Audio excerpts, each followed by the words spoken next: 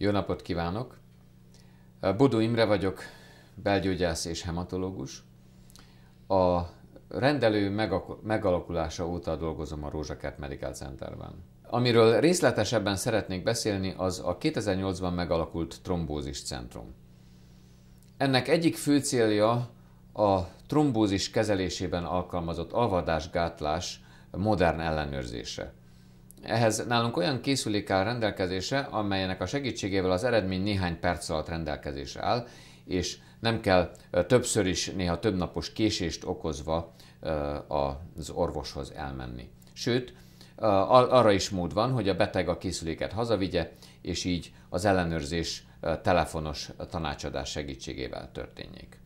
A centrum másik fő célja az a trombózis hajlamnak a kivizsgálása és az ezzel kapcsolatos szakszerű tanácsadás.